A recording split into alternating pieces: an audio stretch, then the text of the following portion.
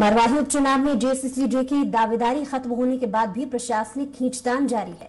न्याय यात्रा के इजाज़त नहीं मिलने के कारण जनता कांग्रेस जोगी के अध्यक्ष अमित जोगी शामिल नहीं हो पाए। अजीत जोगी के निधन के बाद खाली हुई मरवाही विधानसभा उपचुनाव में पार्टी के सभी उम्मीदवारों के नामांकन रद्द हो चुके हैं।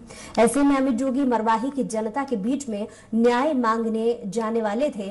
वहीं अमित जोगी ने आरोप लगाते हुए कहा है कि चुनाव से भले ही मुझे अलग कर दिया गया हो लेकिन मरवाही से मुझे अलग नहीं कर, किया जा सकता। मैं सिर्फ़ अपने परिवार से मिलने और उनसे बातें करने जा रहा था।